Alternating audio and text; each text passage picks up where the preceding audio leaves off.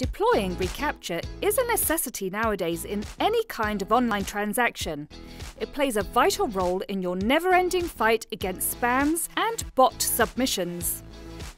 But adding reCAPTCHA in your payment form could sometimes get tricky.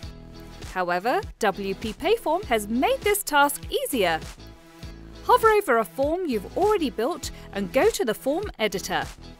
Select the Form Settings tab from the top bar you'll see confirmation settings on the left sidebar.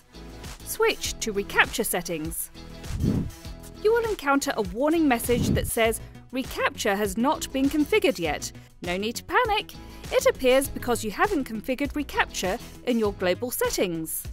To fix this, just go to the WP Payform Global Settings. You'll get reCAPTCHA settings here. Click on it. There are three options in front of you. Disable reCAPTCHA, Visible reCAPTCHA, and Invisible reCAPTCHA. The Disable reCAPTCHA is set by default. The V2 option will show reCAPTCHA on the form. While with the V3, the reCAPTCHA doesn't actually show up when the user hits submit. But it deals at the backend smartly without giving users the pain of using reCAPTCHA. Select one of these options you find the best for your form. To configure reCAPTCHA, you will need a site key and a secret key. If you don't have these keys, you can get these from signing in to the Google reCAPTCHA site. Paste your reCAPTCHA site keys and secret keys. Then save settings and return to Form Edit.